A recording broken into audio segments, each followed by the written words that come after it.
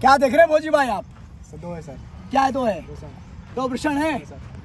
साथियों कभी ये वाली वर्दी आपको चाहिए तो ये वीडियो पूरा देख लीजिए। पूरा अनुभव वाला है। आज फौजी भाई खुद बताएँगे कि भारतीय सेना का जो मेडिकल टेस्ट होता है वो कैसे होता है? किन किन बातों का विशेष ध्यान रखना है? वृषण कितने होना चाहिए? छेद कितना होना चाहिए? एक कमेंट आता बहुत ज़्यादा। फौजी बनोगे एक कमेंट आता बाबू कि सर मेरा छोटा है। देखा होगा आपने? सर मेरा तिरछा जा रहा है। होगा नहीं होगा? तो आपको मैंने बता दिया है हो जाएगा नहीं होगा। लेकिन ये जो YouTube फैमिली है इनको आज फौजी भाई बताएँगे। इनको फौजी भाई बाबू क्या चेक करते हैं इसे? हैं चेक करते कितने होना चाहिए? दो होना चाहिए दो होना चाहिए।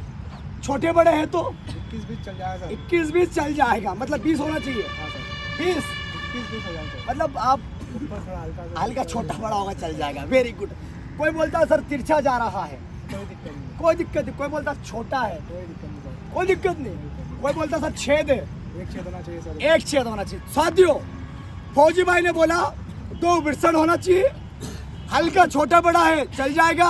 हाइड्रोसिल वाली समस्या नहीं होना चाहिए। और एक छेद होना चाहिए। कोई बच्चा को अब कोई बाथरूम करता है? एक तुर्री इधर जा रही है एक तुर्री इधर जा रही है। एक तुर्री इधर जा रही है एक तुर्री इधर जा रही है। होता ना होता है? और जिसकी दो तुर्री नू जाती है वो मेडिकल टेस्ट से बाहर हो जैसे ना एक सीधी जाना चाहिए जहाँ निशाना है उधर ही जाना चाहिए। जिसने की सर मुझके बुटे कर्म आप कर दो उसको वायरल और करो आपको शेयर फौजी भाई हाँ ये किस तरह चेकअप किया जाता है? ऐसे ज़्यादा डिले नहीं होना चाहिए। डिले नहीं होना चाहिए। ओके और आपका मुँह? ये बहुत बढ़िया। और कान? कान सर वो एक मशीन आती है उससे जी। जी जी बहुत अच्छी बात है। मेडिकल में जाते समय आप कान साफ़ करा के जाइए। जी। दांतों को क्लीन करवा के जाइए। जी। सेविंग क्लीन हेयर कट जी। और नीचे पूरा क्लीन चाहिए। पूरा सिस्टम भी क्लीन चाहिए? हाँ सर सिस्टम सिस्टम नहीं सर सिस्टम बाल क्लीन होना चाहिए। सिस्टम तो होना चाहिए आप ऐसा बोल रहे काट के थोड़ी भी दिए अरे बहुत तगड़ा बहुत तगड़ा। बहुत अच्छी बात। भाऊ बैग किस तरह चेकअप किया जाता है? बैग में। ओपन किया जाता है जी। कभी पाइल से की बीमारी नहीं होना चाहिए उसमें ऐसा है सर चलो बहुत अच्छी बात है। तो बाबू चलो आप तो बताओ। अब सावधानी बताओ भाई लोग को। कैसे मे- मेडिकल टेस्ट देना चाहिए? मेडिकल टेस्ट के लिए पहले आप तो जब जाते हो जी।